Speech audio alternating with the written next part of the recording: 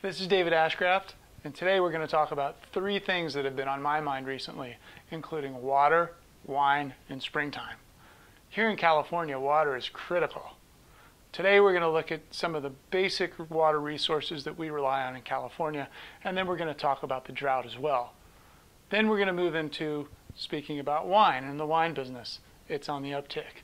Last but not least, we're going to look at spring because here in wine country, spring has sprung. Let's take a look.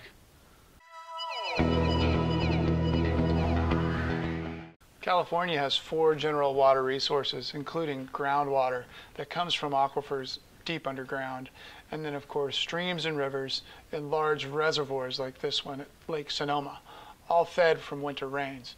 And then, of course, there's the Sierra snowpack, which has been sorely lacking this winter. Now let's take a look at the drought as the last three winters have produced less than average rainfall.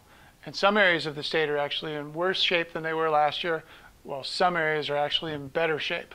Let's take a look at the maps. Here is the California drought map with March 2014 on the left and March 2015 on the right.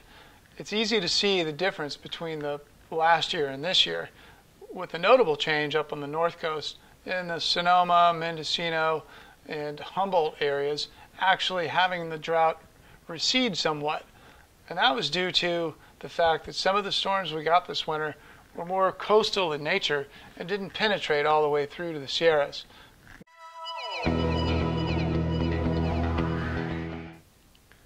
Now let's focus on some of the bright spots.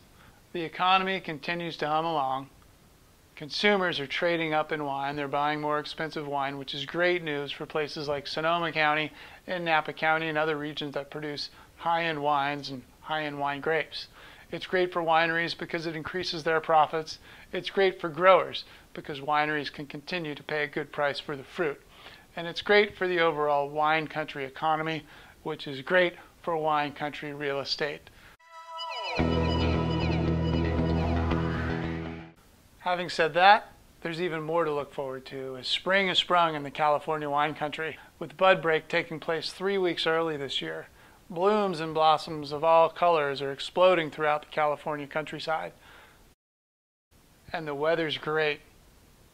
Last but not least, there's a lot of new inventory coming online, so if you have any questions or feedback, please reach out. Otherwise, until next time, cheers.